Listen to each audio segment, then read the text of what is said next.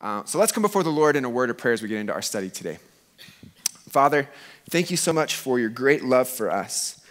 Thank you that you've adopted us into your family and that you've called us your children, Lord. And just as we sang in that song earlier that, that JD led us in, Lord, that life is short and we want to live it well. We want to live in a way that honors you. And so, Lord, as we dig into your word this morning, would you speak to our hearts? Would you draw us to yourself by your Holy Spirit? Would you convict us where we need conviction? Would you comfort us where we need comfort this morning, Lord? Would you encourage us? Would you call us up? We pray this in Jesus' name. Amen. Turn with me to Philippians chapter 2.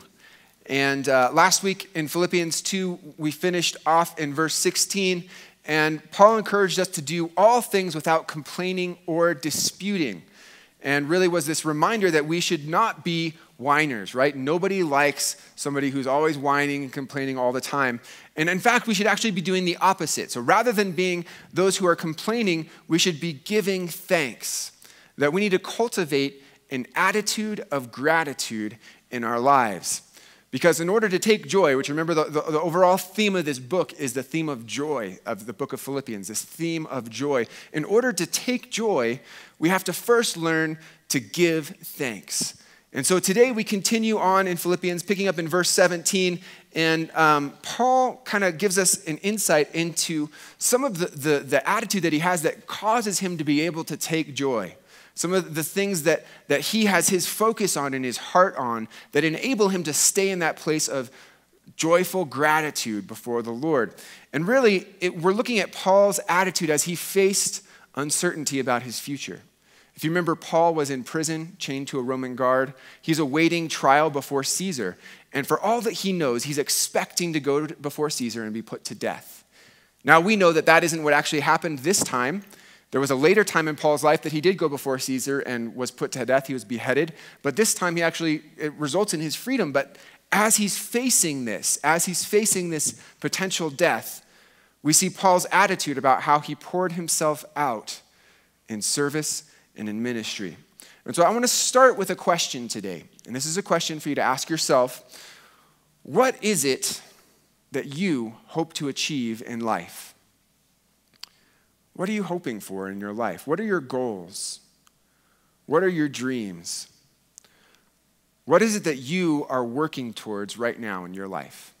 Maybe I'll put it this way because maybe this would be a little bit easier to think about it in this sense. What, if you were to look back on your life, at the end of your life, what would have to happen in your life between now and then for you to define it as a success? If you were looking back on your life, how would you define your life as a success? Is it a certain job or position? A certain financial status? A good, healthy relationship or a good family dynamic? The American dream? What is it that would define success for your life? For many of us, uh, success, we see it as looking for that thing that would satisfy our deepest desires. And see, here's the thing we look and we look and we look and we look and we come up empty. Many people look to a job or a career to bring satisfaction in their lives and find that it doesn't bring it. Many people look to marriage or a relationship to satisfy. Many people look to sex to satisfy or to drugs or alcohol. Many people look to religion to satisfy. Maybe you look to the next newest gadget or toy, like you see the iPhone X came out and you're like drooling over it, right? but it's $1,000 for a phone. I remember when a phone came free with your phone plan, right? $1,000 for a phone. That's crazy.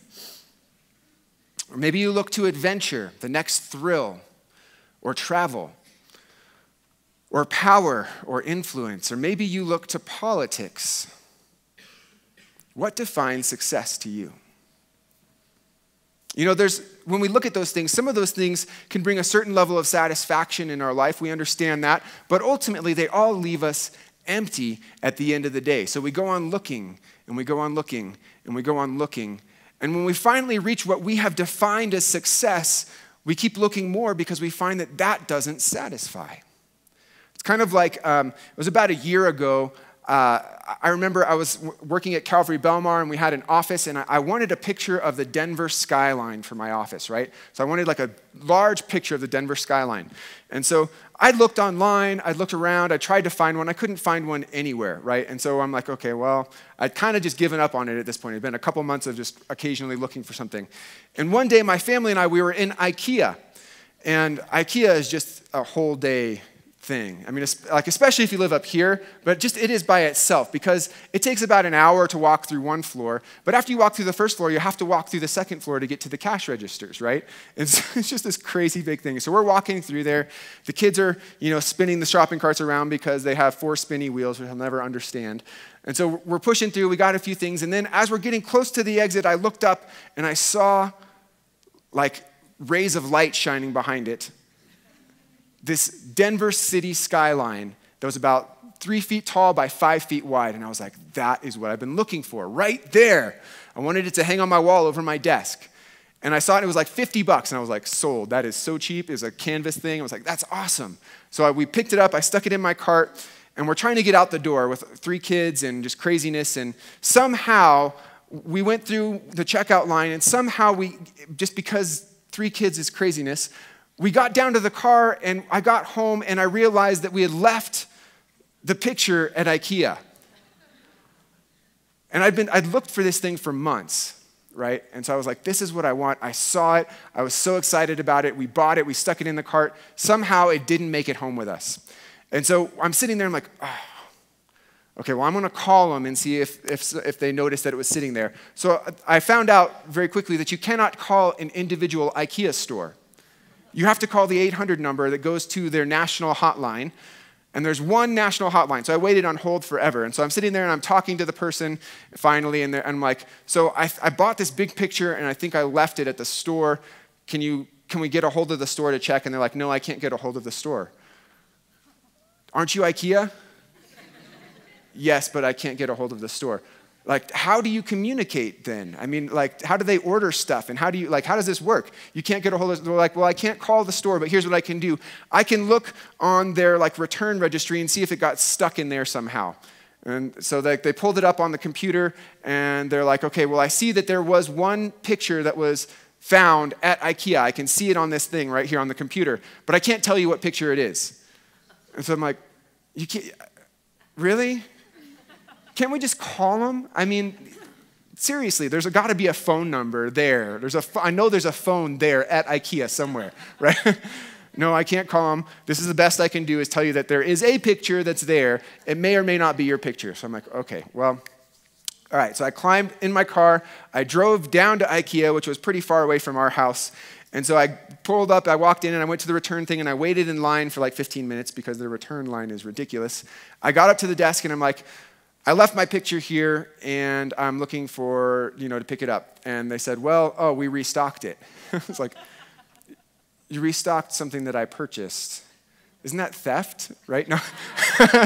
I didn't say that, but that's what I'm thinking. Like, so they restocked and they're like, here, well, here, I can't give you that picture, but I'll give you a credit so you can go through and get another one. And so then I go through IKEA again, you know, the whole process, pick out another picture. I go and I pay for it. I get in the car. I'm like, oh, okay. I got it. As I'm pulling out of the parking lot, I go down to the street and I look left, and then I look right, and I step on the gas, and smack! I totally T boned a BMW. And I'm sitting there thinking at that moment, that picture was not worth this. Can I return it? like, but see, I, I think that this is, this is like, this is an illustration of the way that we live our lives because we start, we're working for this thing that we don't even really know what it is. And we strive and we strive. And it's like, if I can just get this, if I can just get this, if I can just get this. And then, like, you get it and it's just like, no, it wasn't actually anything. Just, uh. And we strive and we strive and we strive to reach this goal of success. And when we reach what we've defined as success, we find that it's empty. And so, what is real success? What is the meaning? What's the purpose? What's the point? Well, we get a hint in the attitude of Paul here in these next couple of verses. In Philippians chapter 2, verse 17 through 18, he says this Yes, And if I am being poured out as a drink offering on the sacrifice and service of your faith, I am glad and rejoice with you all. For the same reason, you also be glad and rejoice with me. And so Paul's saying, hey, if I'm being poured out like a drink offering for you guys, for the gospel, I'm glad. I rejoice. I celebrate that. Now, if you don't know what a drink offering is, a drink offering was an offering that they would make in conjunction with the sacrifice, the animal sacrifice that they would make in the Old Testament. And so the drink offering would either be poured on top of it or next to it. It was usually wine or something like that, wine or, or you know, a, a special drink that they would pour out as they're offering this sacrifice. And so Paul's saying, hey, if I'm poured out completely, and really what he's getting at is if I die, if I go to Caesar and I face death, if I'm poured out all the way for your faith, for the gospel, I'm glad. I rejoice in that. Maybe another, a more contemporary translation might say something like this If I die as a result of pouring out my life for you and for the gospel, I rejoice in that. I'm glad. Won't you rejoice with me? That's what Paul's saying. He's saying, you know what? My life is poured out one way or another. Whether I stay here and I live for the gospel or whether I die for you and for the gospel, either way, I'm poured out and I rejoice in that. I'm glad about that. Now, we've talked about joy being happiness that's unaffected by circumstance. We've talked about kind of joy and stuff. This, but this idea of gladness is a different term. It, it's more of like a feeling. Like we talk about joy not being a feeling, but something you own, something that you take, something that you make yours. But gladness is definitely a feeling. Paul's saying, hey, if I'm poured out to death, I am glad. Won't you be with me? How can he say that? I mean, how can Paul say, you know what, if, if this just ends and I'm done as I go to Caesar, I'm glad about that? How can he actually say that? It's because Paul could look at his life and say this Whatever happens, I rejoice because I know that I have spent my life wisely. I've invested my life wisely. He could look at his life and say that he was glad about how he had spent it so, whether he stayed and kept working for the ministry or whether he went home to be with the Lord, he was glad about it because he had poured himself out and he knew it and he rejoiced in that. See, Paul invested his life for an eternal impact. Now, I want you to think just for a second about your life. What if everything that you have was gone? Not just your stuff, I mean, yeah, your car, your house your clothing, not having food. What if, I mean, that, yeah, if all that stuff's gone, but not just that, uh, your friends turn their back on you, your family walked away from you. What if everything that you had was gone?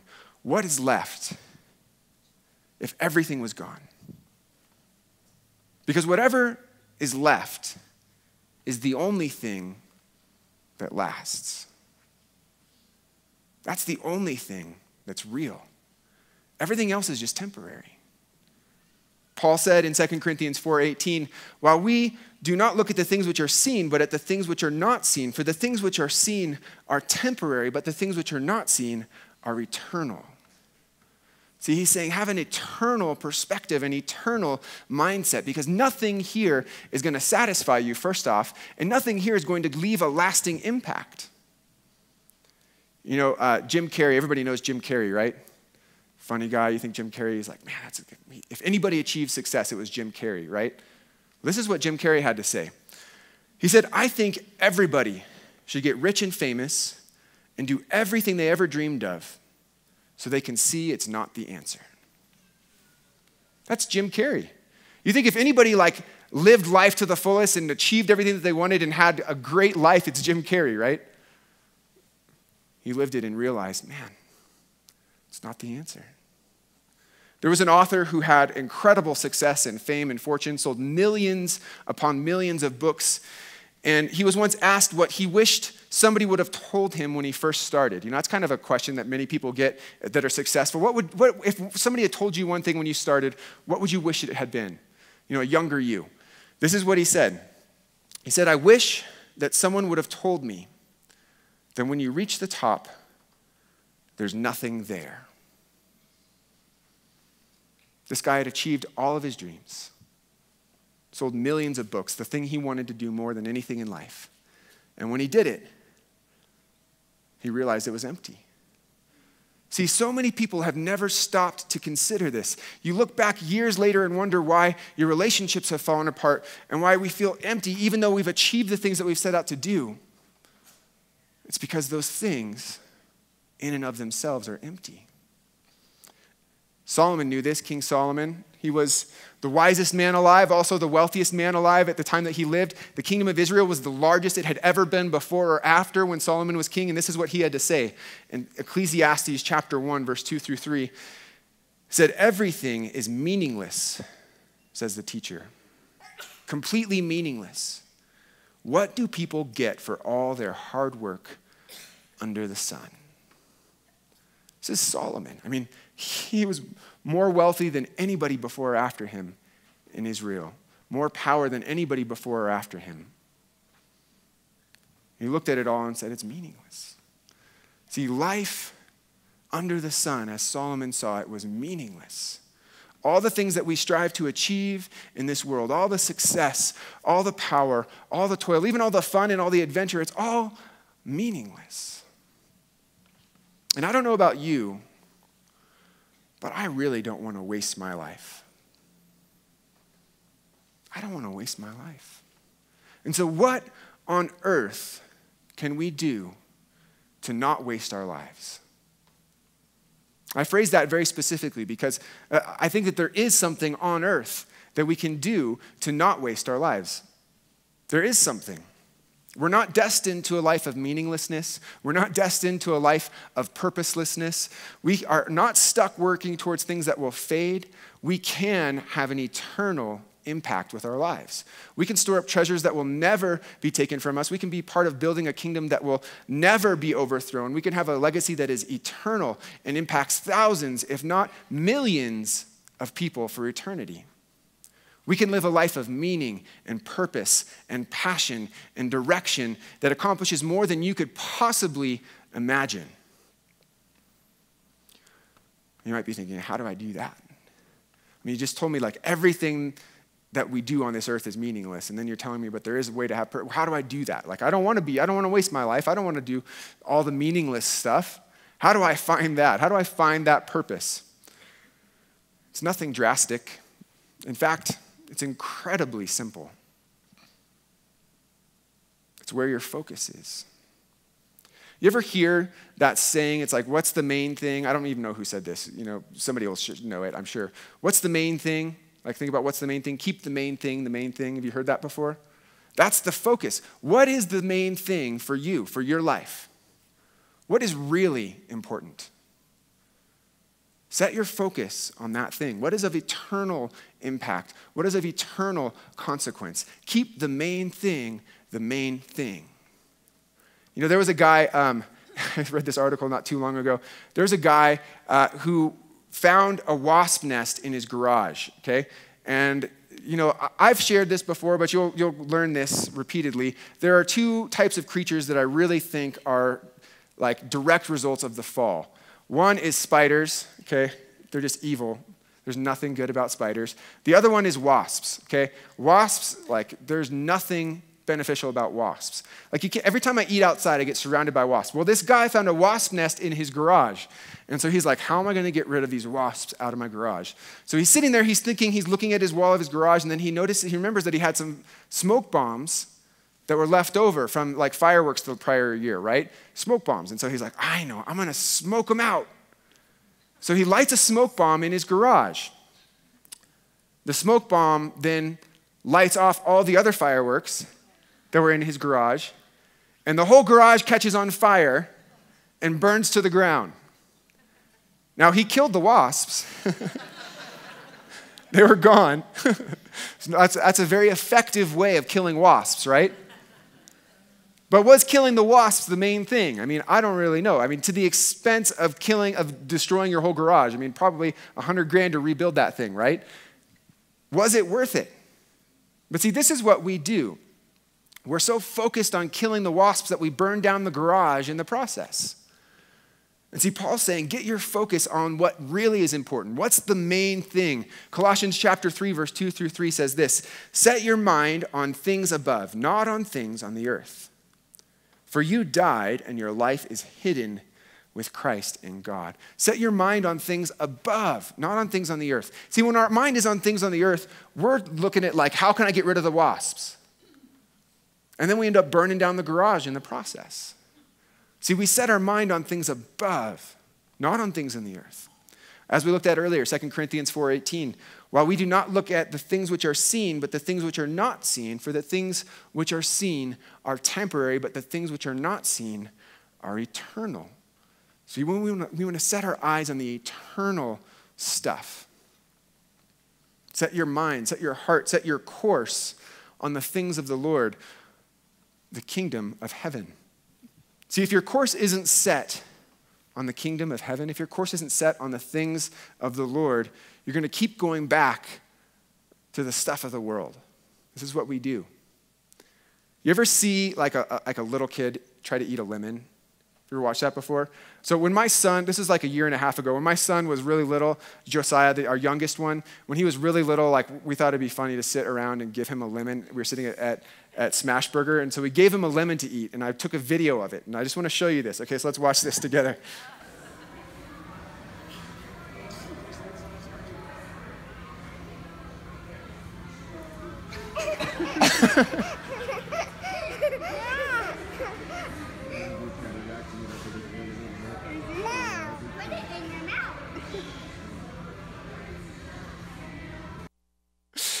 so he did this for like half an hour, like not even kidding. He'd sit there and he'd suck on it, and then he'd look at it again, and then he'd put it in his mouth again. And he did it over and over and over and over again. And the other kids were egging him on put it in your mouth, put it in your mouth, put it in your mouth, right? They thought it was so funny. And see, this is what we do, though. This is like we think that we're going to find satisfaction in whatever it is that we're looking at. And it's like, I'm going to try this. And then you try it, it's like, Ugh. maybe if I try it again. That's what we do. Right? Like they say the definition of insanity, which is not, this is not a clinical definition, but they say it's doing the same thing over and over again, expecting different results, right? But this is what we do. It's like we pick the lemon up. It's like, well, maybe if I just numb my tongue a little bit, then it'll be all right. And the, everybody else is egging you on. Yeah, go after that. Go after that. Do that again. That's what the world would tell you to do. Yeah, go after the lemon. Try it again. Oh, it stings the first time, but it doesn't hurt much after that. And we keep trying and we keep trying and we keep trying. And we end up burning the garage down because we're so focused on the things of the world rather than the things of the kingdom of heaven that we're missing the real meaning and purpose behind it all. Now, you've probably heard um, this saying. You know, there's a few sayings that are Christianese sayings that I, I, really think are so horrible. They're totally unbiblical. I shared one with you a couple weeks ago. You know, the one that says, you know, God will never give you more than you can handle. And I talked about how that's just a lie because the Bible tells you that God will give you more than you can handle. But that's not what we're talking about today. The other one, the one I want to point out today, is you've probably heard this before. When someone says, don't be so heavenly minded that you're no earthly good. You ever heard that before? Don't be so heavenly minded you're no earthly good. Why would you say that to somebody? I have never in my entire life met someone that is so heavenly minded that they're no earthly good. Our problem is the opposite of that. We are so earthly minded, we're no heavenly good. That's the real problem. C.S. Lewis said this about it. He said, If you read history, you'll find that the Christians who did the most for the present world were just those who thought the most of the next. The apostles themselves, who set on foot the conversion of the Roman Empire, the great men who built up the Middle Ages, the English evangelicals who abolished the slave trade, all left their mark on the earth precisely because their minds were occupied with heaven. And this is what he had to say to wrap it up. He said, It is since Christians have largely ceased to think of the other world that they've become so ineffective in this one. See, it's because our focus isn't on the things of the kingdom of heaven that we are ineffective here. Now, being heavenly minded doesn't mean just sitting around and daydreaming about what heaven's going to be like. I mean, yeah, that's fine, but that's not, that's not being heavenly minded. Being heavenly minded is focused on the things of God. Matthew chapter 6, verse 33 gives us insight into this. Jesus says, But seek first the kingdom of God and his righteousness, and all these things will be added to you. Seek first the kingdom of God. Seek God first, and all the other stuff will get added. All the other stuff will get taken care of. God knows that you need to pay your bills. God knows that you need to take care of stuff in your life. He knows that you need to have a little fun every once in a while. He knows all that stuff, right? When our focus is on seeking God first, He takes care of the rest of that. But when we're seeking all the other stuff, when we're seeking getting our bills paid, when we're seeking getting this done, when we're seeking getting that done, we're trying to burn down the wasp nest and we end up burning down the garage. And God's saying, Seek me and I'll take care of that stuff. Seek first my kingdom, and all that stuff's going to be added to you. And so, my question for you today is this just to ask yourself, don't worry, I'm not going to like quiz you on it or something like that, but just to ask yourself, am I heavenly minded or am I earthly minded? Where's my focus? What is it that you're living for? What are you being poured out for? See, Paul knew what he was being poured out for. He looked at his life and he knew where he, he, was pouring all of his energy, all of his time, all of his strength. He knew where he was pouring it. And he said, You know what? Even if I'm poured out completely, man, I'm glad. I rejoice in that. If you're to look at your life, what are you being poured out for? You know, I have met many people on their deathbed as a pastor. I've sat in hospital rooms and talked with them right before they go to be with the Lord. Most, for the most part, they're, they're sitting there and they're, like, they're excited about it, like ready to meet the Lord. But, but, but I'll guarantee you this when they talk about their regrets in life, I have never once met someone on their deathbed who has said, I really wish I'd spent more time looking at Facebook. I really wish I had posted one more Instagram post. I say that jokingly, but uh, no, nobody says, I really wish I had earned more money. No one says, even, I really wish I had had more adventure or traveled more. Those aren't the things that they say. What are the things that they say? They say, I wish I had spent more time investing in people. Or they say, I wish I had spent more of my time and my energy on the things of the kingdom of heaven rather than building my own stuff up because everything that I built is gone now. I can't take it with me. See, it's in that moment suddenly you're very heavenly minded because you're like, wow, everything that I've worked on is, gone, it's, I'm leaving it right now, right here. So don't be so earthly minded that you no heavenly good. Put down the lemons, don't burn the garage down. Now, you might ask yourself, how do I really know? How do I, how do I judge whether I'm earthly minded or heavenly minded? Well, there's a good test in Matthew chapter 6, verse 19 through 21. Jesus gives us a, a self quiz, right? A self examination. We can look at our own lives and say, This is how I know. And so it says this in verse 19 He says, Do not lay up for yourselves treasures on earth where moth and rust destroy and where thieves break in and steal. But lay up for yourselves treasures in heaven, where neither moth nor rust destroys and where thieves do not break in and steal. For where your treasure is, there will be your heart also. Now, he's not talking just about money here. He is talking about money, though, but it's not just about money. I mean, what he's talking about is what are the things that you treasure in life?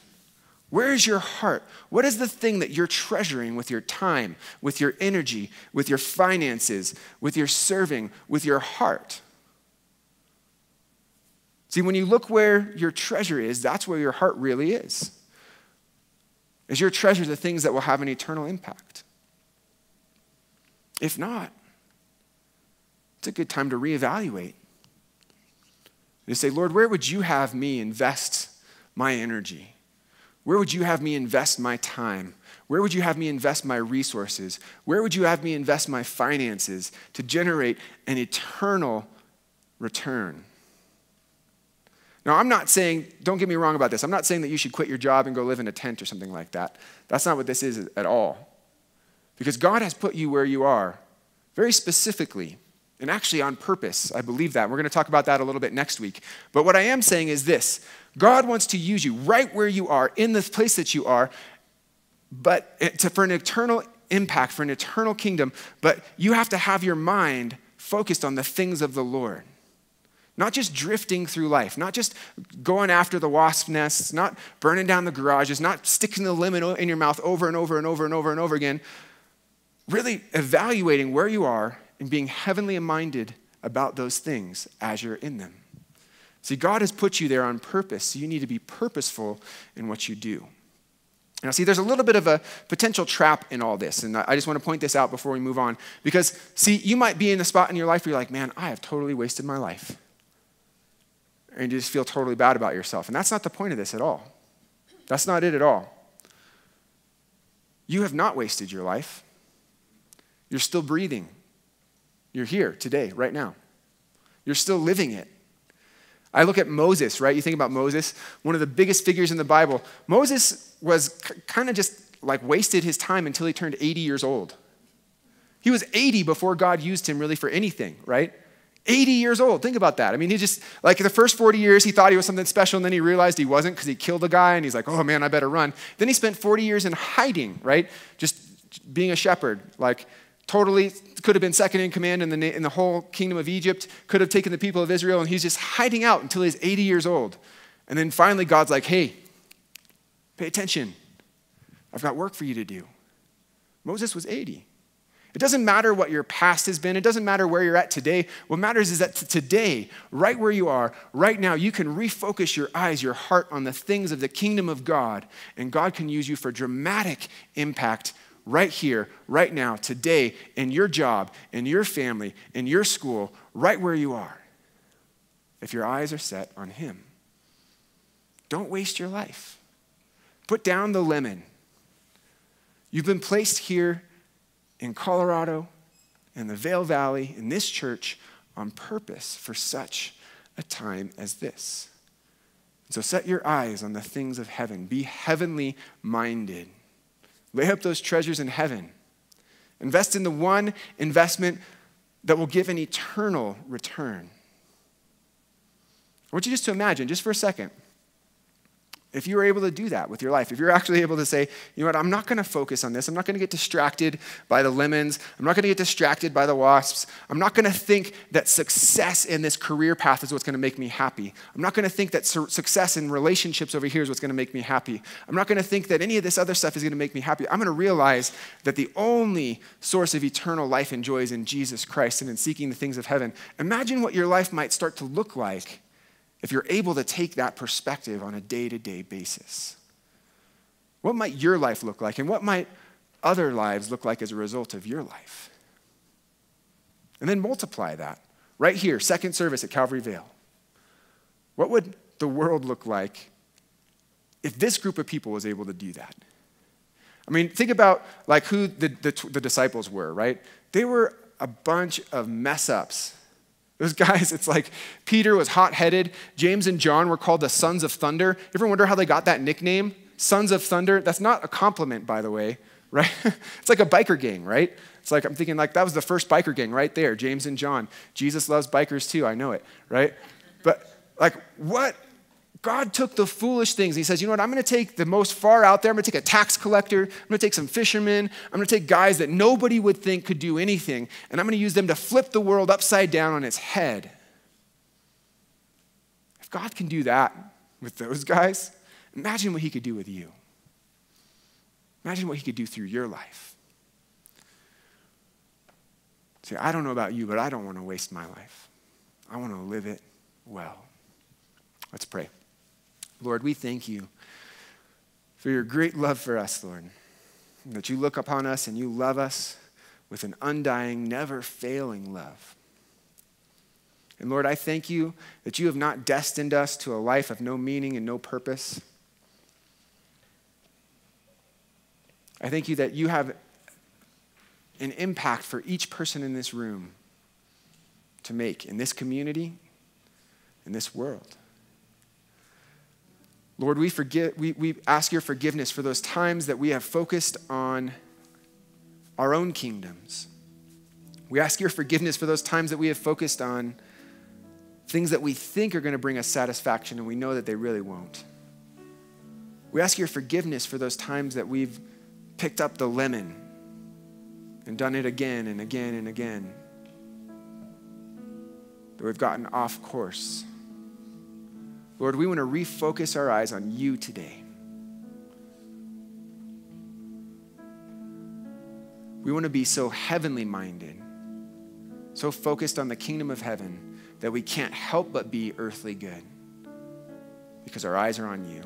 Lord, may we, with Paul, look back at the end of our life and say, you know what? Even if I'm poured out, I rejoice because I know I invested it wisely.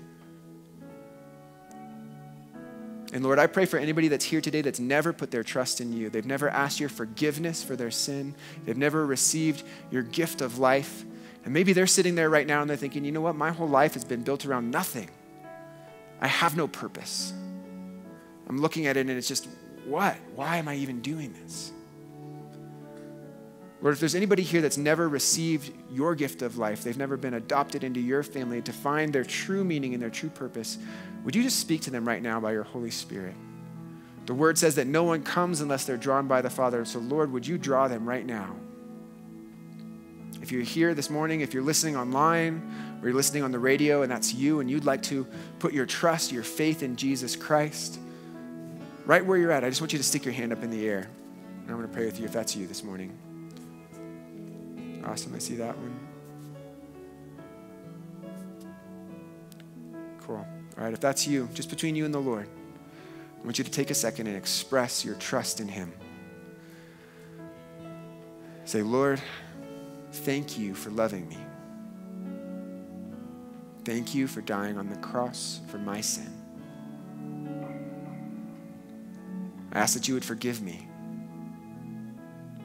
I want to turn from my sin and follow you. Would you please make me yours? In Jesus' name, amen.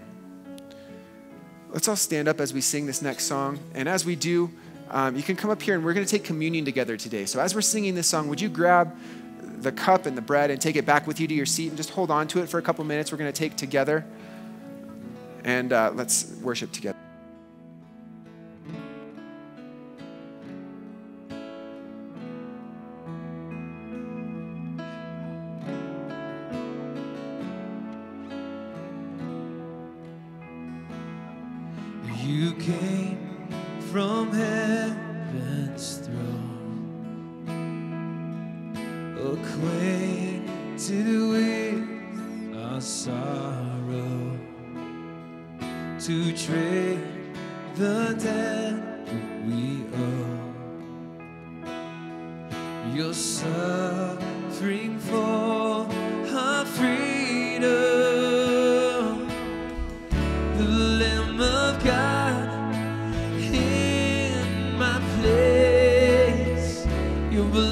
Life.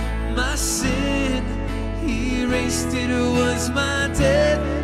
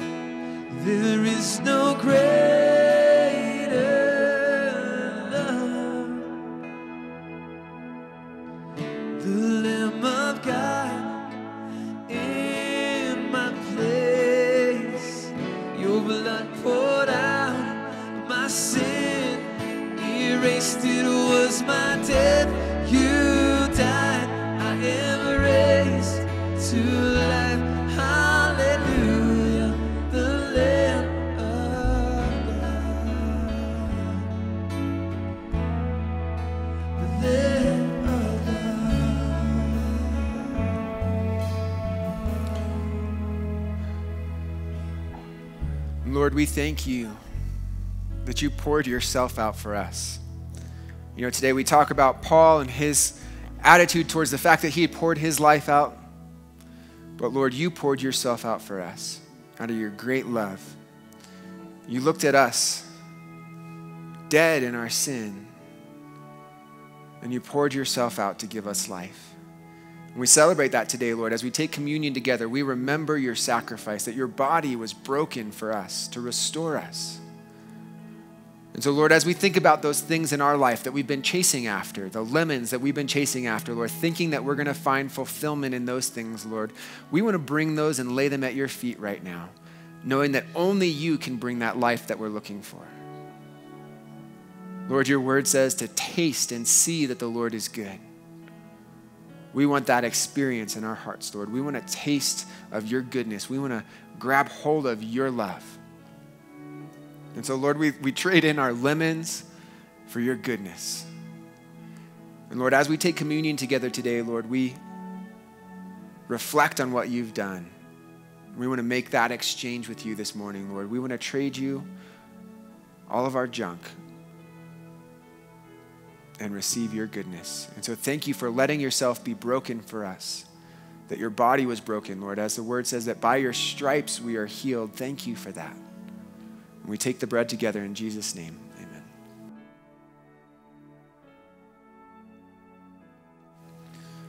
And Lord, as we talk about pouring out and a drink offering and pouring ourselves out for you, Lord, we remember that you literally poured out your blood for us. And Lord, as the word says that the, without the shedding of blood, there's no forgiveness for sins, Lord. And so we thank you that you shed your blood for us. You, the perfect one, the Almighty God, sacrificed yourself to give us life.